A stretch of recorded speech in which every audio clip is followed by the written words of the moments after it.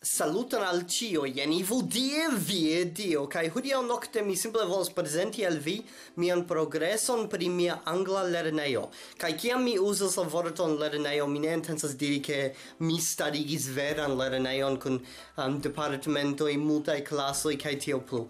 Mi simple starigis post lernean, um, mi supposas, uh, instruadon de la angla al diversae homoi. Do, exemple, infanoi povas veni al mi, kai mi povas helpi ilin uh, fari prelegoin, por pli bone legi, por pli bone scribi, kai tio plu. Kai mi comences fari ci tion kun mia edzino um, unu semainon antau mi uh, flugis al Indonesio.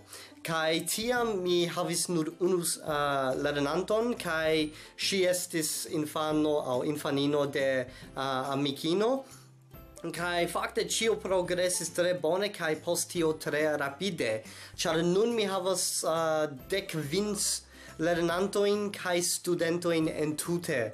Um, kai gi rapidege progressis, kai anue mi simple um, ne tio multe pensis pri gi, mi simple preparis kelkajn lecionojn por unu infano, kai tiam mi havas du, kai tiam subite mi havas kvar, kvin, ses, dek, kai mi komencas pensi, ho ve, mi devas fari au almenau crei um, lezionaron, char mi, mi antaue ne vere pripensis gin, kai nun mi creas mien proprae ma materialoin um, sur base de miei proprae principoi, kai um, mi comenzas organizi cion, char um, nue mi simple memoris la nomoin kai la uh, nivelon de la diversae lernantoi, sed nun mi ec ne povas memori tion, char mi havas tro multe.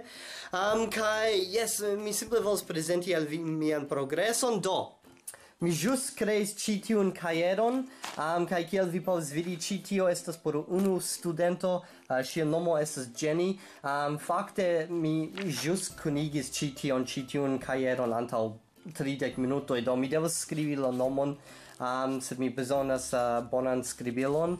Um, do estas tie por unu studento kaj mi havas alian studenton do mi simple testas ŝin pri litru, uh, liturumado de la angla. Um, kai jen alia ĉi tio estas fakte por um, als tio estas la internacia angla um, al internacia angla io gi estas por testo exameno um kai jen alia ci tio estas lernantino si estas tre juna si fakte estas mia nua lernantino. Kai unue kiam mi komencis fari chi tion, mi fakte simple laboris kun la infano kai donis la mi suppose la paperojn kai chi on alla um, uh, panio au paĉo de tiu infano, sed estas problemo. Mi rapide forgesis je kiu nivelo la infano estas, to nun mi devas teni ĉion. Um, kai unue kiam ni komencis fari on mi edzino simple planis la, la tempojn um, kai fixis la tempojn kun la um, gepatroi, sed nun ni havas applicajon kiun ni uzas kune porque ŝi povas simple gistatigi gin, kaj tiam mi povas rigardi ĝin. Ĉar fakte mi prescau in spesas um, las duonon de mia nuna um, uh, sumo de mono kiun uh, mi gainas de mia plentempa laboro gi progresas tiel rapide kai mi suppose ke tio estas cio. mi simple vos presenti tion al vi sed esas du aliai aferoi. do anue Unu el miei fanoi el Svislando sendis al mi ci tiun Esperanto libron. Am um, gi nomigas uh, uh, Heidi. Uh, mi ne scias kiel tio uh, kiel mi devas vere diri tion aŭ prononci tion kaj ĝi simple nomiĝas la migro kaj lernojaroj de Heidi. Um, kai gi estas traduco el la germana um, sed estas el Svislando. Uh, do mi legos tion kai mi recenzos gin kai simple presentos gin al vi. Eble post semajno eble en la dum la posta semajn fino um, kai la alia afero. Kelkaj homoj fakte demandis min pri ĉi tio antaŭ iom de tempo. Ili diris, um, ĉu vi povas helpi min uh, pri Esperanto kaj tio plu eble per Skype?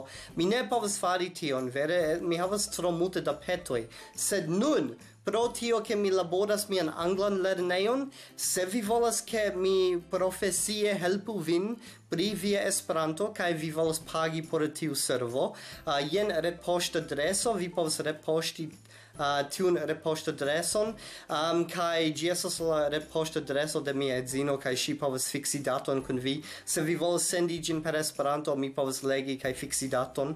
Um, sed yes, se vi volas. Um, kompreneble mi ne povas fari tion senpage char nun mi havas du laboroin do simple estas tro multe da laboro kai tio estas cio do se vi shatis ci tiun filmeton shatu gin disconigu gin abonu mian kanalon se vi ancora ne abonis filmis, ca mi vidos vin cioin el veronto filmo. Kai se vi ne estos tie, mi trovos vin, kai mi atakos vian gorgion. Kai, kiel ciam, mi volas danki mian donacanton ce Patreon, char vere sen ili mi ne povas daudigi citiun kanalon. Ili estas the viv sango de citiu kanalo, kai miai gis nunai donacantoi estas Andrew Timp, Boncora Comensanto, Chris Perdue, Craig Robertson, GB Ante, www.finefine.ito, Jacob, James Harlan, JZ Knuckles, La Stranga, Lex de Olivier, Ludisto, Margarita Kilpack, Robert Nielsen, Robert Port, Sarah S.C., Shane Power, Tommy Lindsley, Andy Martinez, Kai, you know who.